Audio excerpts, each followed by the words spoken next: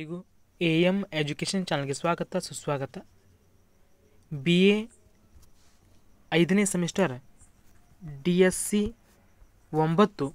ಈಗಾಗಲೇ ನಾವು ಒಂದನೇ ಅಧ್ಯಾಯ, ಮಧ್ಯಕಾಲೀನ ಭಾರತದ ಇತಿಹಾಸದಲ್ಲಿ ರಾಜಕೀಯ, ಸಾಮಾಜಿಕ, ಆರ್ಥಿಕ ವಿಷಯದ ಕುರಿತು ಚರ್ಚೆಯನ್ನು ಮಾಡಿದ್ದೇವೆ. ಇವತ್ತಿನ ಈ ಅವಧಿಯಲ್ಲಿ ಅಧ್ಯಾಯ ಎರಡು, ವಸಾಹತುಶಾಹಿ ವಿಸ್ತರಣೆ.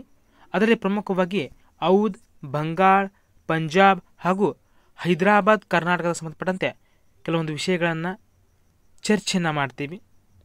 ಸೊ, ಪ್ರಮುಖವಾಗಿ ವಸಾಹತುಶಾಹಿ ವಿಸ್ತರಣೆ ಎಂಬುದು ಹದಿನೆಂಟನೇ ಶತಮಾನದಲ್ಲಿ ಪ್ರಾರಂಭವಾಗ್ತದೆ. ಬ್ರಿಟಿಷರು ಪ್ರಾರಂಭದಲ್ಲಿ ವ್ಯಾಪಾರಕ್ಕಂತ ಭಾರತಕ್ಕೆ ಬರ್ತಾರೆ. ತದನಂತರ ರಾಜಕೀಯದಲ್ಲಿ ಪ್ರವೇಶವನ್ನು ಮಾಡಿ ಕೆಲವೊಂದು ಪ್ರದೇಶಗಳನ್ನು ಪ್ರಮುಖವಾಗಿ ಸೂರತ್, ಮಜ್ಲಿಪಟ್ಟಣ, ಹೀಗೆ ಕೋಲ್ಕತ್ತಾ, ಹೀಗೆ ಪ್ರಮುಖ ನಗರಗಳನ್ನು, ಪಟ್ಟಣಗಳನ್ನು ವಶಪಡಿಸಿಕೊಂಡು ತಮ್ಮ ಕೇಂದ್ರಗಳನ್ನಾಗಿ ಮಾಡಿ ಆಡಳಿತವನ್ನು ಪ್ರಾರಂಭ ಮಾಡ್ತಾರೆ.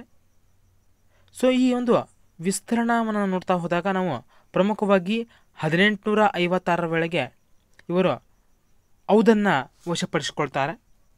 ಸೊ ಹದಿನೆಂಟುನೂರ ಐವತ್ತ ಏಳರಲ್ಲಿ ಲಾರ್ಡ್ ಆಲ್ ಹೌಸಿಯವರು ಇದನ್ನು ಸಂಪೂರ್ಣವಾಗಿ ವಶಪಡಿಸಿಕೊಳ್ತಾರೆ. ಈ ಒಂದು ವಿಸ್ತರಣಾ ಪ್ರಕ್ರಿಯೆ ವಾರ್ನ್ ಹೆಸ್ಟಿನ್ ಅವರ ಅವಧಿಯಲ್ಲೇ ಪ್ರಾರಂಭವಾಗ್ತದೆ.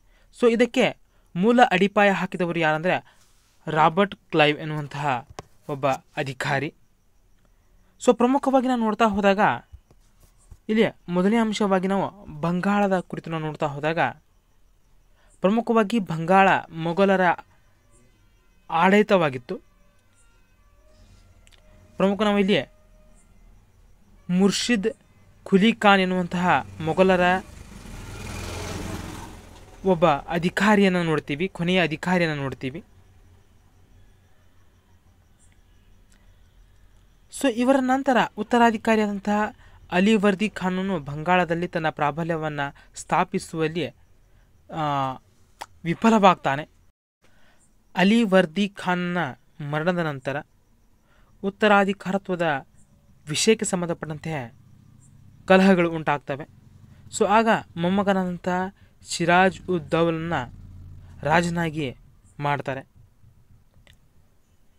ಉದ್ದೌಲ್ ಬ್ರಿಟಿಷರ ವಿರುದ್ಧ ಯುದ್ಧವನ್ನು ಸಾರ್ತಾನೆ. ಸೊ, ನಾವು ಆ ಒಂದು ಕದನವನ್ನು ಪ್ಲಾಸಿ ಕದನ ಅಂತ ಕರಿತೀವಿ. ಸೊ, ಅದಕ್ಕೆ ಹಲವಾರು ಕಾರಣಗಳು ನಾವು ನೋಡ್ತೀವಿ. ಸೊ, ಪ್ರಮುಖವಾಗಿ ನಾವಿಲ್ಲಿ ತನ್ನ ಆತ್ಮೀಯರಾದಂತಹ ದಂಡನಾಯಕರು, ಮಂತ್ರಿಗಳು, ಬ್ರಿಟಿಷರ ಸಹಾಯವನ್ನು ಮಾಡಿದ್ದರಿಂದ ಈ ಒಂದು ಯುದ್ಧದಲ್ಲಿ ಸುಲನ್ನ ಅನುಭವಿಸಾಗ್ತಾನೆ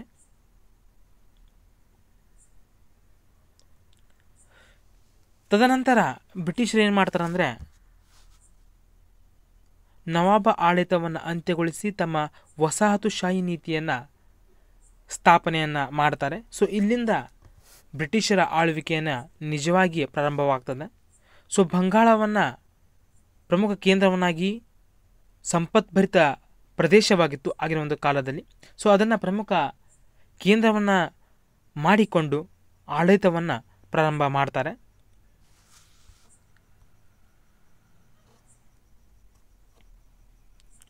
ಇನ್ನು ಮೂರನೇದಾಗಿ ಹೈದರಾಬಾದ್ ಮತ್ತು ಕರ್ನಾಟಕ. ಹದಿನೇಳುನೂರ ಇಪ್ಪತ್ನಾಲ್ಕರಲ್ಲಿ ಹೈದರಾಬಾದ್ ಸಂಸ್ಥಾನವು ನಿಜಾಮ್ ಉಲ್ ಮುಲ್ಕ್ನಿಂದ ಸ್ಥಾಪನೆ ಆಗ್ತದೆ.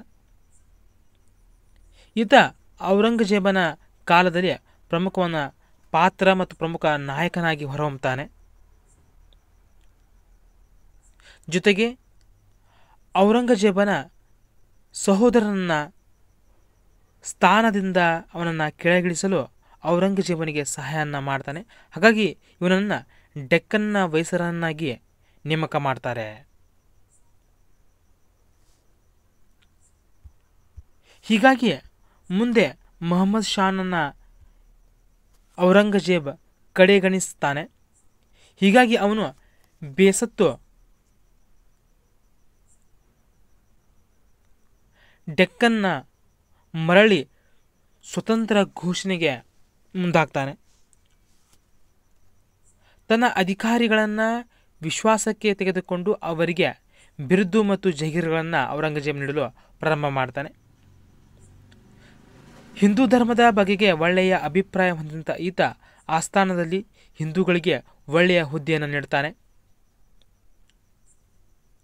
ಪೂರನ್ಚಂದ್ ಎಂಬ ಹಿಂದೂ ಅವನ ದಿವಾನನಾಗಿದ್ದನು. ಎಲ್ಲರನ್ನ ಗೌರವಿಸುವ ಈತ ಜಮೀನ್ದಾರನನ್ನು ಕೂಡ ತನ್ನನ್ನು ಗೌರವಿಸುವಂತೆ ಮಾಡ್ತಾನೆ.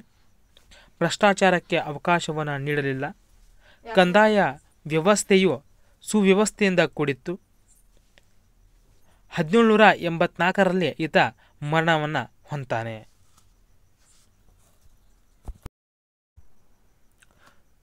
ಮೂರನೇದಾಗಿ ಕರ್ನಾಟಿಕ್.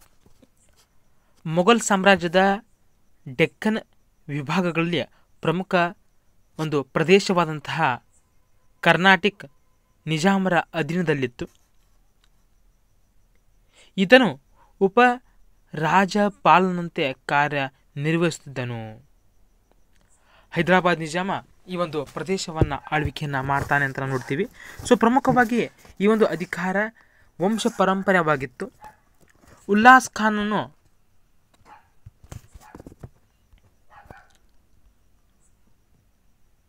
ತನ್ನ ಸಹೋದರ ಸಂಬಂಧಿ ದೋಸ್ತ್ ಅಲಿಯನ್ನ ಉತ್ತರಾಧಿಕಾರಿಯನ್ನಾಗಿ ಮಾಡ್ತಾನೆ. ಹದಿನೇಳುನೂರ ನಲವತ್ತರ ನಂತರ ಈ ನವಾಬ ಹುದ್ದೆಗಾಗಿ ಆಂತರಿಕ ಕಲಹವನ್ನು ನೋಡ್ತೀವಿ. ಸೊ ಈ ಒಂದು ಆಂತರಿಕ ಕಲಹದ ಲಾಭವನ್ನು ಪಡೆದುಕೊಂಡು ಬ್ರಿಟಿಷರು ಹೈದರಾಬಾದ್ ಮತ್ತು ಕರ್ನಾಟಕ ಪ್ರದೇಶಗಳನ್ನು ವಶಪಡಿಸಿಕೊಳ್ತಾರೆ. ಸೊ ಮುಂದಿನ ಒಂದು ಅವಧಿಯಲ್ಲಿ ನಾವು ಬಂಗಾಳದ ಕುರಿತು, ಬಂಗಾಳದ ಪ್ರಮುಖ ವಿಷಯದ ಕುರಿತು, ಬಂಗಾಳದ ವಿಭಜನೆದ ಕುರಿತು ಹಾಗೂ ಬಂಗಾಳದಲ್ಲಿ ಪ್ರಮುಖವಾಗಿ ಕಂದಾಯ ನೀತಿಯ ಕುರಿತು ಚರ್ಚೆಯನ್ನು ಮಾಡ್ತೀವಿ. ಈ ಒಂದು ವಿಡಿಯೋ ನಿಮಗೆ ಇಷ್ಟವಾಗಿದೆ ಲೈಕ್ ಮಾಡಿ ಶೇರ್ ಮಾಡಿ ಹಾಗೆ ತಪ್ಪದೆ ಸಬ್ಸ್ಕ್ರೈಬನ್ನು ಮಾಡಿ. ಧನ್ಯವಾದಗಳು.